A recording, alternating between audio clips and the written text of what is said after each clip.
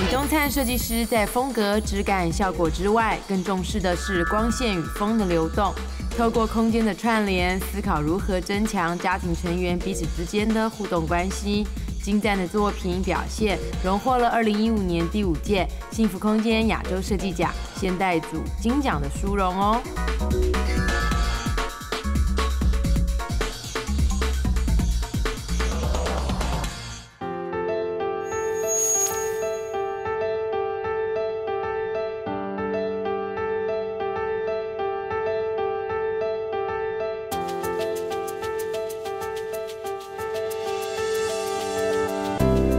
现代人啊，因为三 C 科技的进步，呃，有时候就算是在房子里面，家人在这个房间跟在客厅，我们都会用 LINE 在沟通。但事实上，我刚刚听完李设计师你的想法，我觉得其实你的设计如果可以让家人之间的凝聚力变强，而不只是靠手机在沟通，是面对面沟通的话，那我觉得今天的设计是非常值得的。是，我想，嗯，以设计来讲的话，空间会影响到人的这个使用上产生的一些行为的改变。对，所以，我们像这个案子呢，最主要的想法就是怎么样把家人呢平常的活动能够让他聚在一起。嗯，所以在格局上，我们做了一个比较大的调整。那格局的部分，原本这个房子在建商给的这个格局是一个三房的格局。嗯哼。那三房的格局，其实这个业主他本身呢，他是呃年轻夫妻，然后只有一个五岁的小小女孩。嗯。那这样子的格局就会显得房间数多。那我们会希望小女孩跑跑跳跳的，能够在这样子一个大空间里面，让她很自由的跟家人的互动。嗯。那我们现在是把这个呃原本第三个房间的部分把它拿掉。对。把客厅整个变成是一个整个打开的一个状况。那原本这个地方是这个房间的这道墙。对。那沙发是坐在这个位置上看前方的这个电视的部分。哦。对。所以我一进门呢，就是这一块是一个开放空间。嗯。客厅、厨房，后面就是呃卧室的部分。OK，所以现在的格局改完之后，可能主卧室有一间很大的更衣室，然后一个小女孩房间。嗯，我不知道我这样看对不对？我觉得你有刻意把公共空间放大，然后让他们其实睡觉的空间够用就好了，对不对？嗯。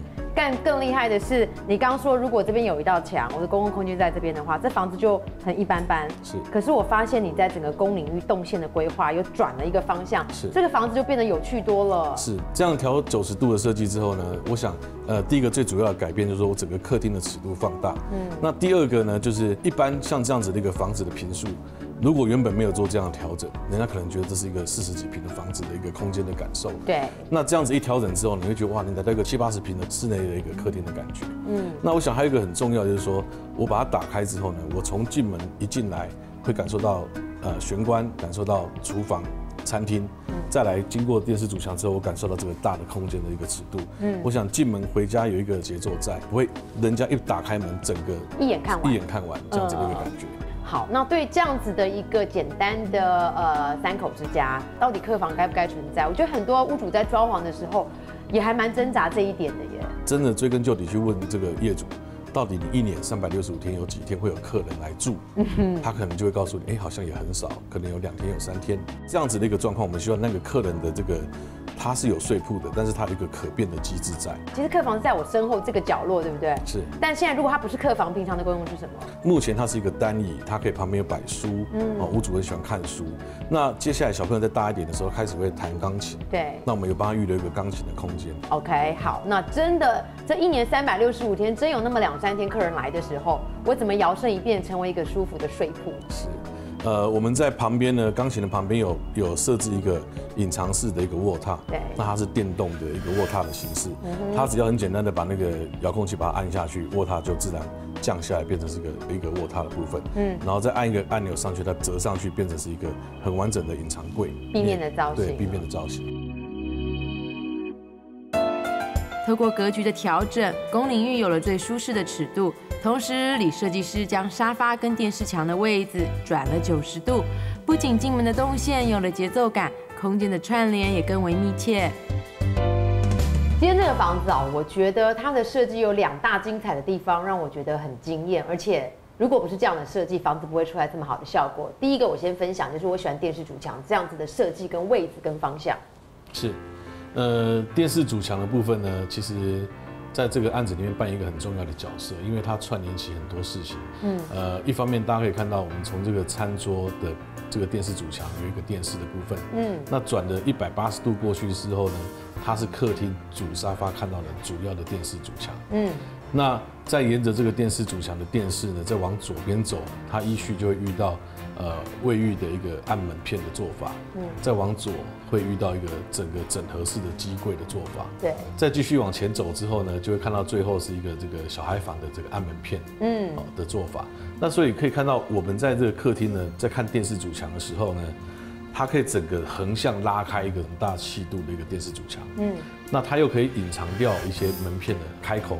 我想这个电视主墙跟这个所有的门啊、所有的机柜啊，全部整合扛摆在一起。而且很多细节的部分，我觉得处理也蛮好，特别是机柜那一块。是每个业主呢，他。呃，都会遇到一样的问题哦。它可能，尤其包括我们现在时代进步很快，就是它可能现在的设备跟未来的设备会有很大的一个调整。嗯，所以你可以看到每一层的这个玻璃层板的后方都有一个整排式的一个出线口。对。那因应未来的线径的大小啊出现。所以等于是这个整个机柜的后方，它整个是一个完全空的管道间，嗯哼可以让业主做一个很弹性的一个抽换使用。对啊，所以未来可能它的产品你要在三 C 产品或影音设备要升级，这都不是问题了。没错。刚刚除了电视主墙那整个面让房子看起来大之外，我觉得进门左手边这整串的设计也是让房子看起来很大的原因之一。是，呃，我们在做住家设计的这个经验上，我们很强调一件事情，就是收纳空间。对。那我们这个房子比较特别，就是我们。后方这一道整个这个木作柜的部分哦，它其实对过去是门的部分，所以一进来我们这个木作柜呢，它的深度是六十公分，嗯，但是我们刻意倒了一个斜角，就希望让门进来之后是一个舒服的，不会遇到一个角的状态。对，那这个木作柜里面它其实有呃隐藏了很多样的一个机能存在。从一开始的这个，我们做了很多的层板，让女主人放鞋盒，对，然后再来做旋转鞋架，嗯，好，那这个女主人有很多的这个鞋子的收纳的需求，嗯，那再来，因为它靠近餐桌，那男主人又很喜欢有红酒的收藏，对，所以有红酒柜砍进去，然后再接下来。我们认为一进来之后，可能冬天会有大衣、外套、包包。对，那如果你没有给他一个适当的放置的空间的话，这些东西到时候都会放在沙发上。沙发给衣服跟包包做。是是。OK。那外套收纳之后呢，接下来就是一个茶水柜的部分。那我们门片呢，做了一个比较特别的水平的一个横拉式门片，很像那种呃高级巴士的门，对不对？是是是。那这个门片拉开之后呢，它就是一个茶水柜的部分，包括咖啡机的部分。嗯。它位置非常好，因为它又靠近餐桌。我可能早餐需要喝咖啡，我可以在这里使用。对，那我可能在看电视，在沙发上，我需要一个咖啡，我也可以很就近使用。它就是最中心，离两边都刚刚好的距离，没有错。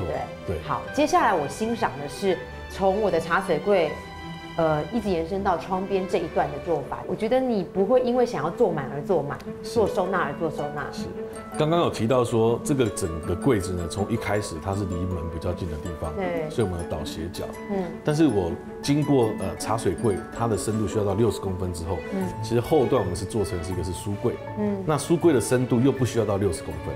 那一方面也造成我这个柜子这个造型呢，有一些特殊的一些角度的变化。嗯，那整个空间感不会死板板的，会比较动态一点。对。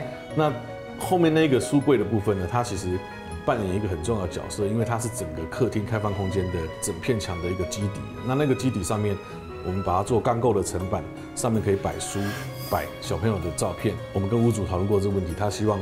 以后可以摆小朋友的奖杯啊之类的，嗯哼，有些照片之类都可以在这个地方陈设。嗯，那再来呢，考虑到清洁的问题，所以这个钢构层板的外面，我们还有做了这个玻璃的门片。嗯，所以在清洁上你不用哇那个开放式的柜子，然后很多书，然后你要不停的去擦拭这些书的灰尘。OK，这边我再附带一提，就是说沿着这整个柜子呢，玄关一直走走到后方去。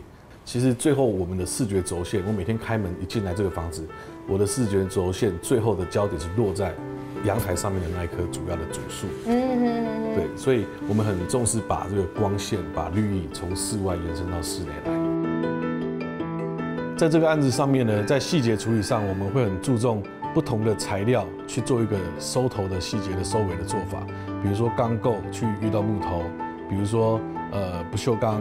呃，玻璃等等不同异材质，它的这个材料的结合的部分，那这样的用意是让屋主呢，他除了啊一个好的一个格局以外，他也可以感受到在工艺上的一个细致的细腻度。所以我在这个地方居住，我可以有很舒服的一个空间，我可以感受到这个空间是很经过精密的、呃细致的设计，让我在使用上能够更加的心情的愉悦。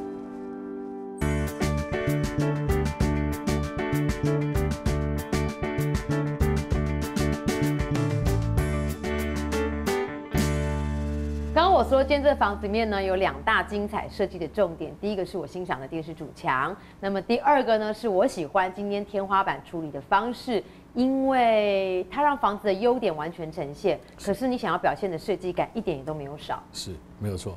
呃，我们在一开始的时候你有提到这个呃一个聚的概念，嗯，家人聚在一起的概念。那其实换另外一个角度，就是我们的空间，其实在对这个整个家庭来讲呢，它是要塑造出一个。生活的容器这样子的一个想法，嗯，那什么叫生活的容器呢？我们希望这个家呢，它就像一个容器一样，它可以把这个家人的活动，各式不同的活动，包括家人的这个欢乐声音，嗯，这个把它包覆在一个大的开放空间里面。对。那整个这个天花板的这个造型上呢，它其实它就是依循了这个我们刚刚提到整个开放空间这样子一个连续性的开放空间的设计哦。对。想象它是一张白纸，我们利用把它切开来的。一个几何的做法，再来有一些折纸的概念放进来，嗯，所以我整个纸把它掀开之后，拉开来整个到板底的部分，这个就是一个像打开到一个空间最高的尺度的一个概念。那这个折上去这个空间呢，它是从玄关入口进来，一直转折，转折到这个整个客厅的最后的尾端的部分。对。那利用这个折纸上掀的这样子一个想法，围塑出一个大的一个开放空间的一个造型的设计概念。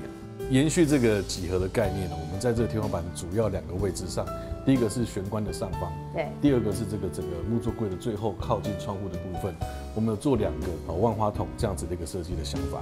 那为什么要这样的想法？第一个是增加这个天花板的趣味，对。第二个呢，从另外一个角度，你可能看到反射出来的是爸爸的身影，嗯，那正面的角度看到这个小女孩的身影，自己，对，所以她在这个万花筒里面，她可以看到这个家人不同的。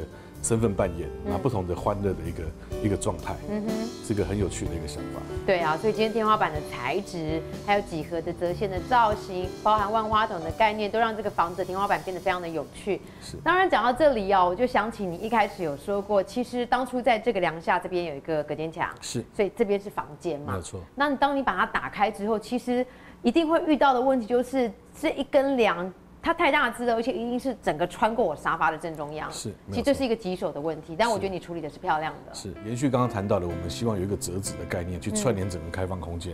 那剩下来呢？我希望空间高度能够做到一个最高的状态，所以你可以看到我们的这个天花板的部分呢是没有封按架板的，甚至可以看到这些消防管的部分，类似像工业风这样子的做法。嗯。那它的好处就是它可以争取一个空间的最大的高度。那生活容器，我当然希望家人是最舒服的状态，对，所以高度是一个最高的一个状态。嗯，那刚刚您提到说这个主要这个大梁它会遇到这个沙发的部分，对，对，那我们有旁边这一整圈的暗架的部分，它有很多的功能。包括我可以做砍灯，包括我的这个冷气的小型送风机可以暗藏在里面。对。那再来呢，我的这个主要沙发上方的部分，我可以做局部暗架，所以我上面它是一个平坦的一个状态。对。它不会去感觉直接去面对到这个梁的一个压迫感。所以我坐在那个地方，我是觉得有安全感的啦，就是是有被包覆起来的。所以也避免掉我刚刚说这根梁直接把我的沙发从中间。切成两半，是你的做法也让天花板可以保持到最完美的高度了。没有错。